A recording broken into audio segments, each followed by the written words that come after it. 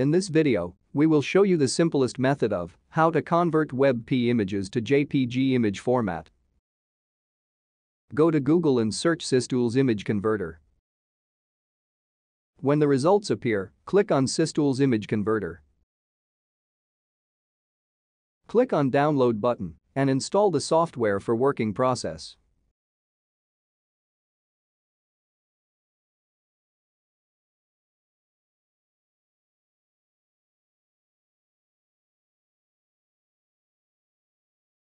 Now, the user has dual modes to browse image file from the system.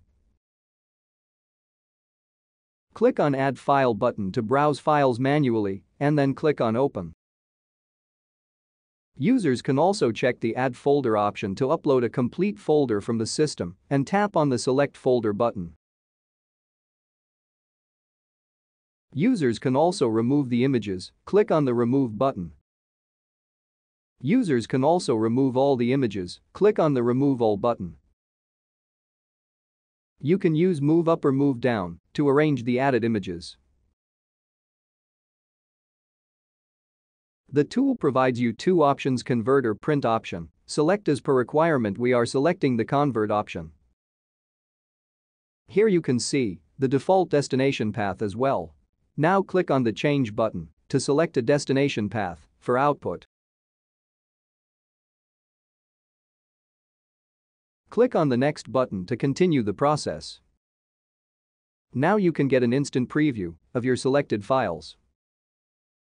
You can click through the images in order to preview and make sure that all the images are loaded. Click on the next button to continue the process. Here you can see the settings window with multiple options. Let's understand all the options one by one. You can choose the export button to check exporting options. Here you can see multiple export type options, you can pick any of them as per your requirement. We are selecting JPG format. Select the Set Image Quality option. Here you can change the image quality as per need.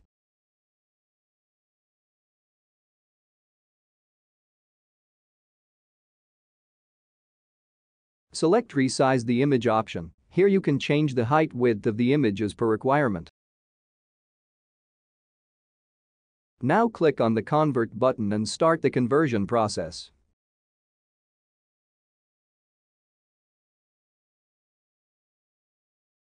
Once the process completes successfully, then click the OK button. Now let's check out the output file.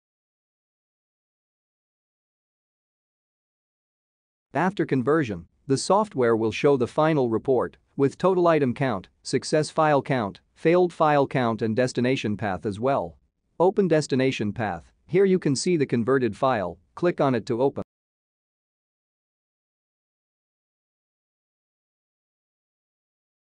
And that's it, hope you enjoy the video.